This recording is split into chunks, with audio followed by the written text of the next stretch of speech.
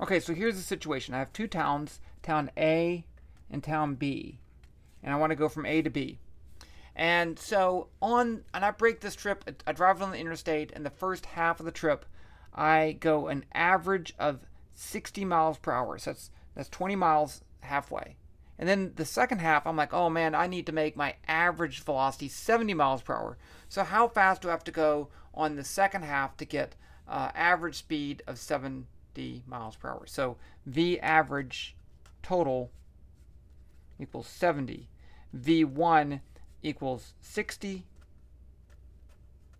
V2 equals, I don't know.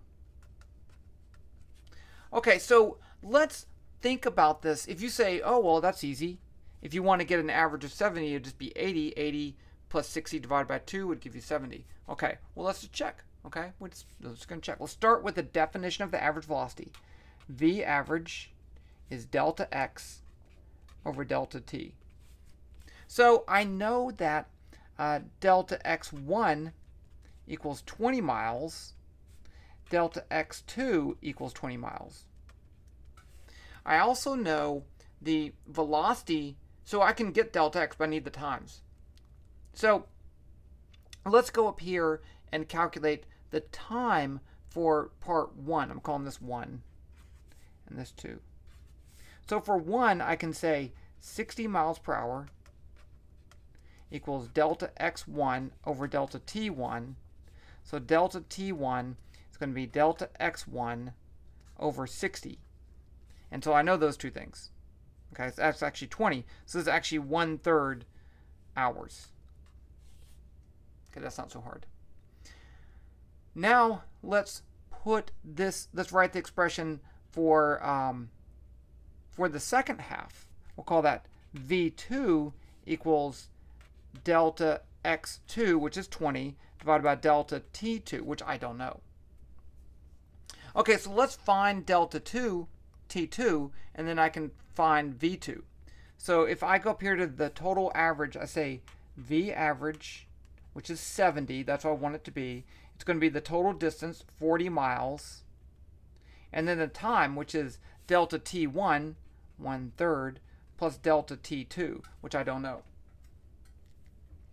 So I can multiply both sides by this and divide by 70, and I get 1 third plus delta t2 equals 40 divided by 70 equals 4 sevenths. Now I can subtract 1 third from both sides, and I get delta t2 equals 4 sevenths minus 1 third. And if you put that in your calculator, you get 0.238 hours. So now up here, I can say 20 miles, right? Because we're just talking about the last part. 20 miles divided by 0.238 hours, and I get 84 miles per hour.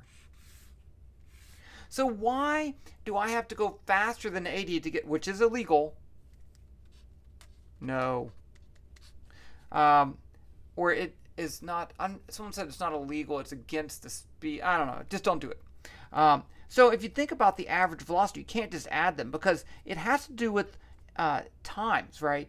And I'm going to have to go faster than 80 miles per hour because the time for this part is a lot less than the time for that. They're not split up equally in time. Just because they're split up equally in distance does not mean they're equal in time. And so you always want to go back to the definition of the average velocity. Don't try to just intuit this and say, oh, well, it's just, just average. I don't have to do anything hard. When in doubt, just write it out. Hey, that rhymes. Okay, well, there's your answer. How do you calculate average velocity?